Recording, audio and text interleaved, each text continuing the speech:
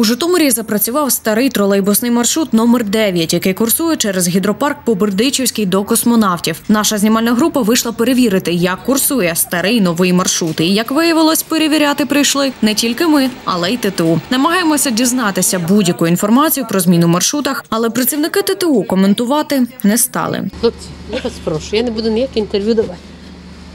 Дайте доробити. А що не так? Чому ви не хочете давати інтерв'ю, я не можу зрозуміти? Ні, ми ще не знаємо, що ви нас буде запитувати. Так, біжіть. Тролейбус номер 9 ми чекали біля гідропарку 40 хвилин, і у кондуктора дізналися, що поки за новим маршрутом рухається зовсім мало транспорту. Два. Понятно. Сьогодні два пікових тільки. А далі будуть збільшувати? Далі будуть додатися, буде рентабельно, будуть додатися машини.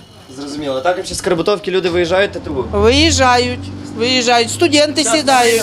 Житомирянам подобається ідея з поверненням маршруту, але вони зізнаються, що тролейбусів замало і курсують вони не часто. А от маршрутні таксі, зокрема, курсують десятками, таким чином забираючи чистий прибуток ТТУ, який міг бути у декілька разів більше. Андрій Іванюк, Олександр Голобородько, телеканал СК 1